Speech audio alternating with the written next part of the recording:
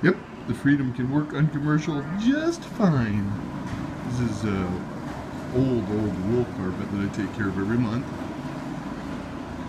Holds up great. And downstairs we're doing the hall goes all the way back and around and around the downside of the building. And this one goes through the other way.